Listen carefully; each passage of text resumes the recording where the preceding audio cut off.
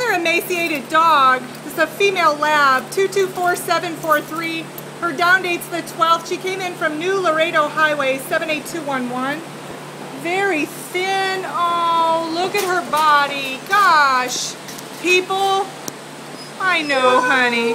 And she has got the sweetest little face. When I walked by her, she looked at me like, oh, please stop and pet me. I know. Are you going to give me a kiss? You're a good girl. I can just see it. I can. Yes, she's a doll baby. Look at that. She's trying to press herself up against the kennel, so I'll give her a scratch. I know. You know, if you if you love animals, which you must if you're watching these videos, please send it to everybody you know. Put her on Facebook, and maybe we can get this little girl out of here. Yes, we're gonna try, honey. I know.